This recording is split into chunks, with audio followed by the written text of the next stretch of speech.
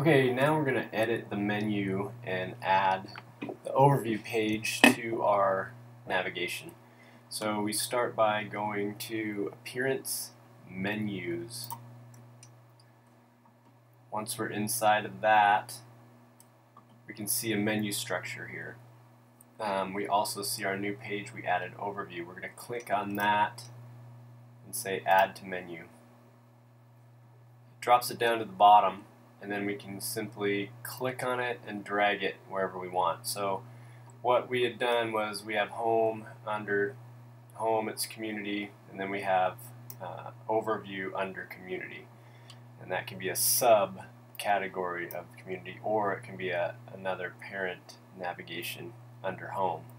So I want it to be a sub one so we just push it over and it will drop into that area. We hit save menu and now our menu will display under home if we hit refresh.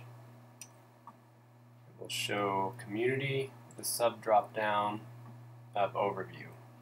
So that's how you edit um, menu areas. So what we're going to do also is let's say we want to have um, the 911 link show uh, above as its own um, link. So we're going to actually pull that and drop it in right after volunteer. We're going to get rid of this community links because there's nothing on it. If we look here at the old site or the, the new site, if we click on community links, it's just a sample page. So we're going to go back to the menu. We're going to hit, we want to delete this menu addition by clicking on the triangle and hitting remove. Now that deletes it. It doesn't delete it from our pages. So it's still over in the pages, it's just not displayed in the menu. So just note that. Then whenever we make an adjustment in the menu, we want to hit Save Menu. So we'll hit that Save Menu and we'll go check it out, hit refresh on the existing page.